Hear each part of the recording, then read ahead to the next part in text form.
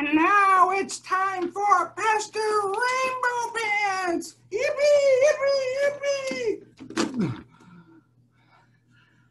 Becca, why did you have me bring this great big bag of dog food?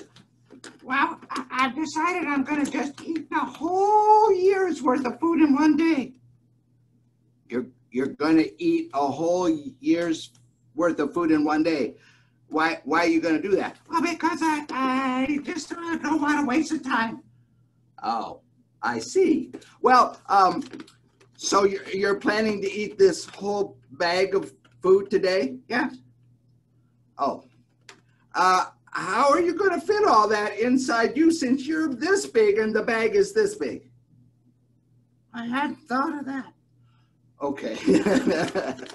well, I I can understand your you you're wanting to try to do that. You know, sometimes people try to do that with God. I do?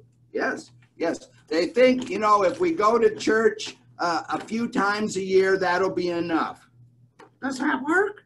No, that works about as well as you trying to eat this whole bag of Blue Buffalo food. Where did you get this, by the way? Jane gave it to me. Oh, Jane. Jane the dog. Yeah. Okay. Well, I just want to remind us that just like with eating a, the food we need every day, we need to connect with God every day.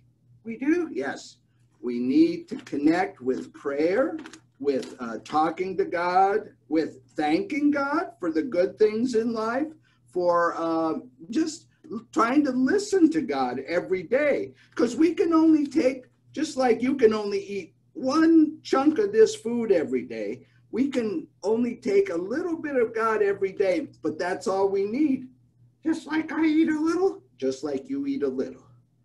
Okay. What are we gonna do with this Food, well, I think Jane will take it, okay? Okay. Bye, everybody. Bye.